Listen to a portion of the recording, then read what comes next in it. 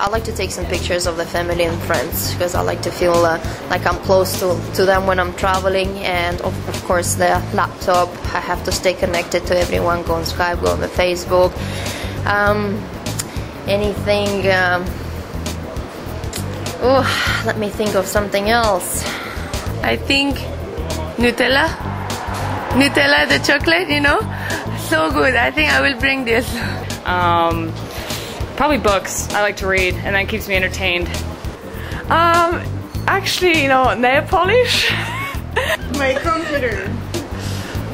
Is Facebook. I cannot live without Facebook. Oh no, no. Ah, yeah, yeah. Sometimes I bring caviar with me because I miss uh, Russian food, so uh, um, I just prepare a sandwich in the morning.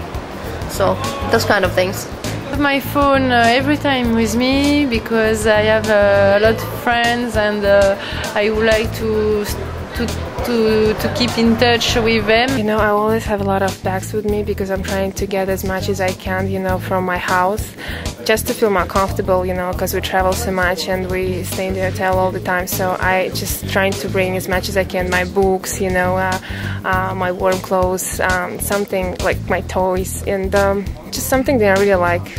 Uh, my tennis bag maybe too because it's important for to play and and when I don't stop already I prefer to have my racket with me for for to enjoy on the court and uh, play my job yes. Um, uh, without Skype. ah yeah Skype. Yeah Skype. Good answer